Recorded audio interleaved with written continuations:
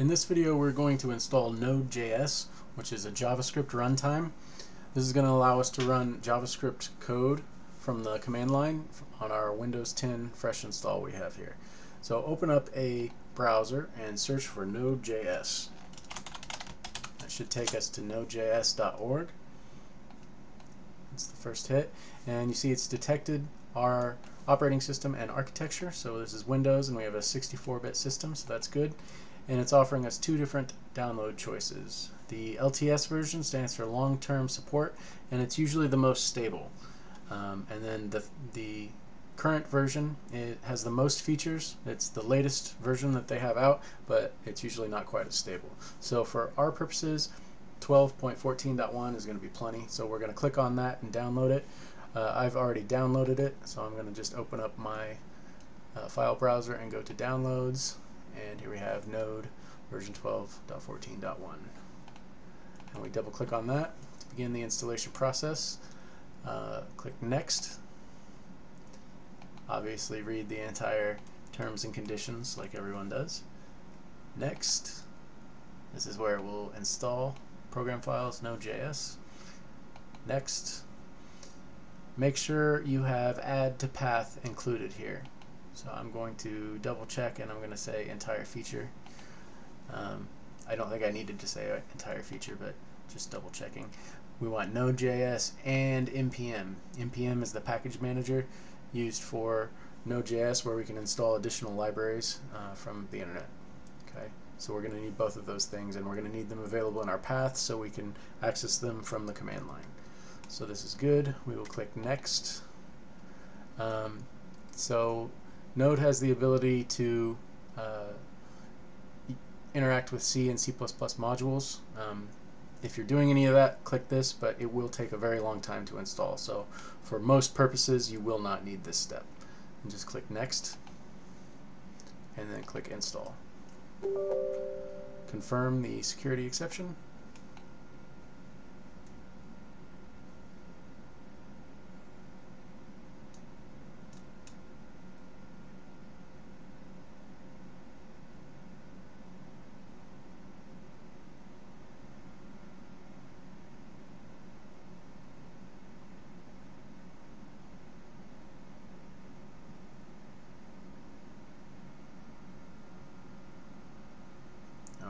It's finished installing. So click Finish. And now, if everything went according to plan, we should have access to Node from uh, the command line. So go to the Start menu and type cmd.exe. That's the command prompt. I also have a shortcut to it here, which I recommend. Okay, so here's the command prompt. We're going to change directories to desktop, um, and then we'll just run node to start with. And so this is running Node in interactive mode. So now I have access to JavaScript that I can run x equal 5 and then console.log x plus 3. Right? I left a semicolon off there, but it's very forgiving. So when you fail to add some semicolons, uh, most cases it will be okay with that. All right, to leave the interactive mode, dot exit. Okay, we're back at the command line now. So that's good. Now we want to test to make sure we can run a script. So we're going to make our first uh, JavaScript file, a classic hello world example.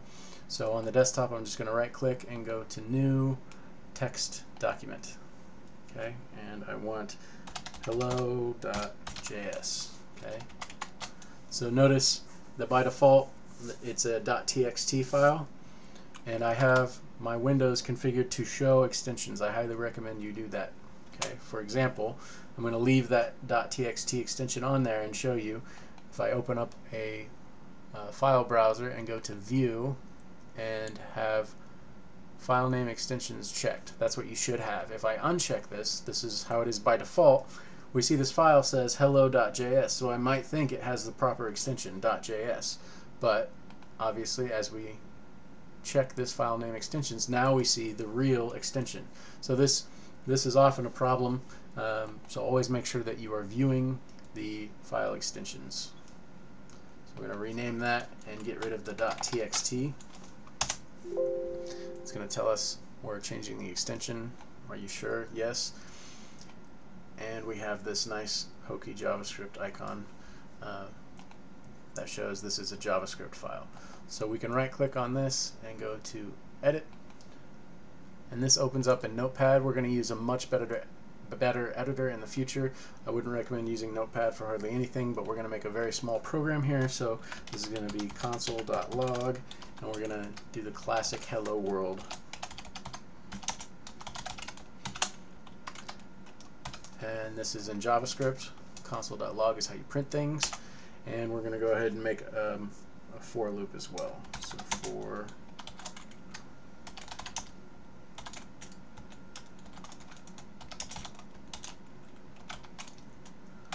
start with i equal to 0 as long as i is less than 10 and we're going to add 1 to i each time through the loop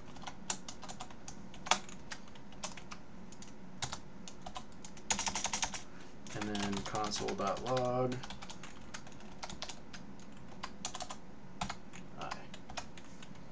Alright, so this should be a simple for loop that should run 10 times from 0 to 9 and log that out after hello world.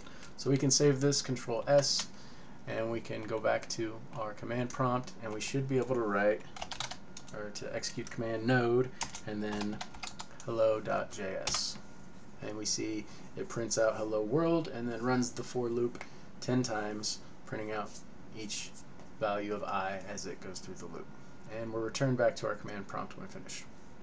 So we've installed Node.js. We see that it's working. We've actually run a script with it. There's one more thing that we want to do. We want to make sure npm is installed. So we've got Node installed and we, we can check the version, node hyphen hyphen version. So that's 12.14.1. That's correct. And we have npm. npm is the package manager. It stands for Node Package Manager. It allows us to install additional JavaScript libraries and have access to them uh, from our scripts. So npm is installed and it's version 6.13.4. So that's fine. Um, the main thing that we want to install, install here is a linter. It's a code linter that will help us keep our code uh, neat and tidy. It will inform us, once we install a better text editor, it will inform us when we have errors in our code before we even run the software. So that's really nice. So to install this linter, we use npm and then install Oops. And then we want to install this globally. So we use hyphen G and we want to install ESLint and run that. So this will install the ESLint package globally for us and allow us to make use of ESLint when we have installed uh, an additional editor. Okay, so it's installed and we should be good to go. So that's how you install Node.js and get the basics working right away.